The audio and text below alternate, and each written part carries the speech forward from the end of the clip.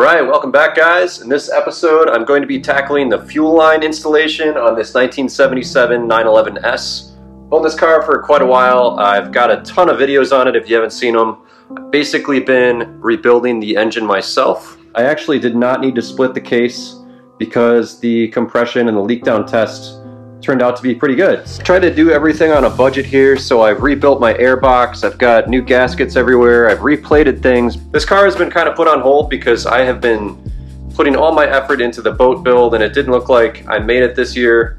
It's already September and the weather is turning. Winter is coming, I want to build snowmobiles. I also have a Jag project that I'm working on I'm really excited about.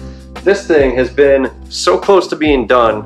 I am sick of procrastinating this is my number one priority. I want to drive this thing. So let's get to it. A lot of these fuel lines are NLA, so um, you pretty much have to get them custom made. There's a guy named Len that I'm going to be ordering his fuel lines, but the first step in order to do that is to measure the size of the fitting that's on the tank because they changed even in the same year. Before I do that, first I'm going to show you the state of my existing lines. Alright, so here's the one of the factory lines. Um, I don't know if you can see this, but there's a lot of small cracks everywhere on that line. You know what, when that fuel line lets go and you have a hot engine, that's not something I'd like to experience. These are not simple fuel lines. You can't just go to AutoZone and, and order some fuel line. They're three pieces and they have some fittings that are a little odd. So anyway, the first step in replacing the fuel lines is jacking up the car and removing the belly pan to figure out what fitting size is on my fuel pump. So that's what we're gonna do first.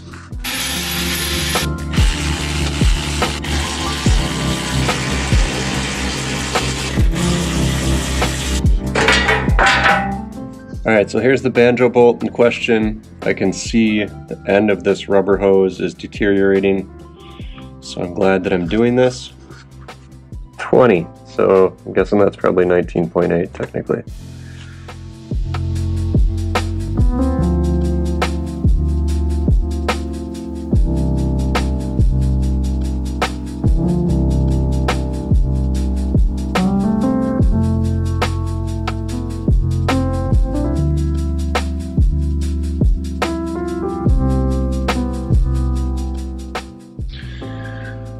So this red guy goes for the fuel pump.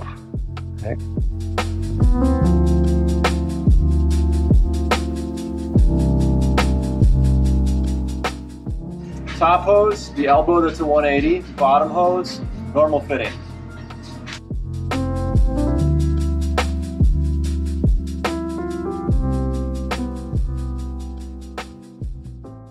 All right, I'm under the car in the front here. I'm gonna show you what I'm looking at. So there's the fuel tank and there's the fuel pump and here's the steering rack. And what I'm gonna have to do is, those are the fuel lines. There's one there and there's one here. And they go over the steering rack and then into the tunnel right there.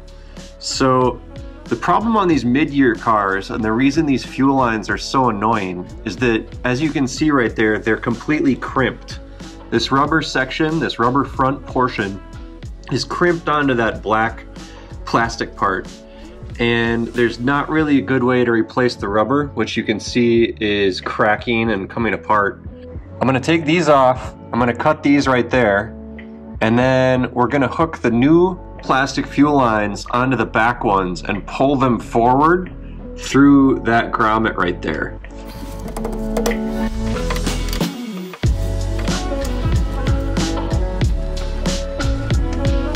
Well, hey, look at that. Not much.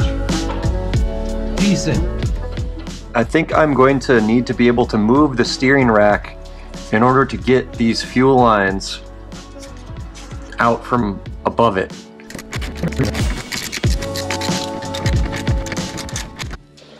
All right, now we're back up on top of the car, under the hood, and we're going to just loosen this guy. Let there be light. This is the steering coupler that connects the steering column to the steering rack.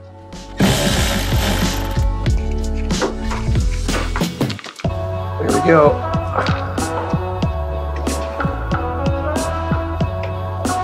Um, let's cut the rubber part.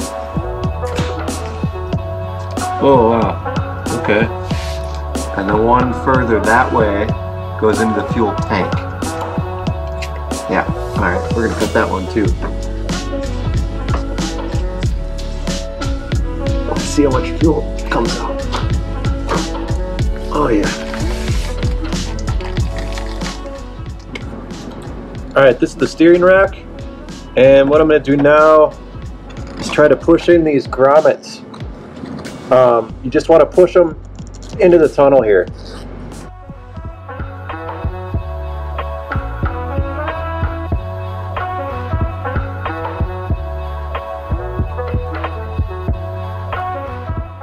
All right, so now the name of the game is take these new lines and they came with this adapter and you thread it onto the back of these lines and then we go to the front and we pull this through. I'm gonna also wrap it with some tape as well just to help it get through the tunnel. So like every how-to says you're supposed to wrap this with tape, but I, I have no freaking clue how they're supposed to do this. There's no, like look at, this is my finger.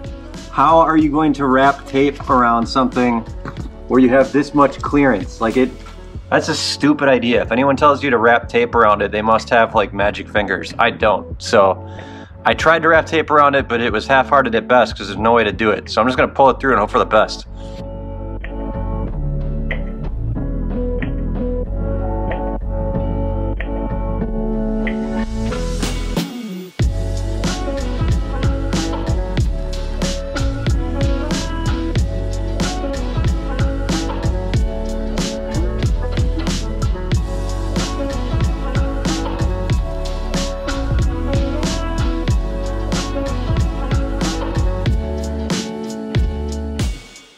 There is a little metal bracket right here. I don't, I don't even know if you can see it. My finger's touching it.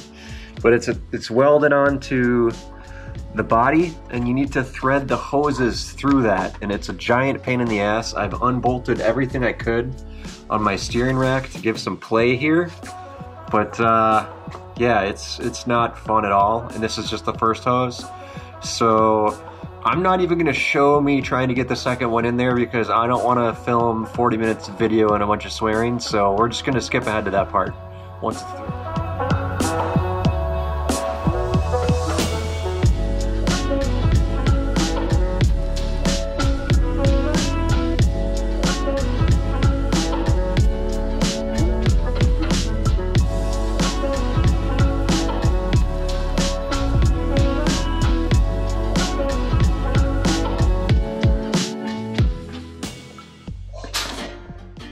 Right, dudes, done.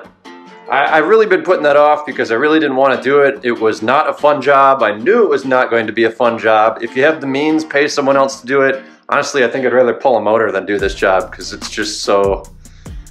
Ugh. Maybe maybe if I had a, a real lift, I'd feel a little bit differently. But anyway, that's all done. I think next steps on this thing. Um, as far as I know, this is pretty much ready to go. I do need to get the exhaust and the oil crossover tube um, to work with each other. I'm not sure what I have is gonna work. And then we're gonna be starting to put on the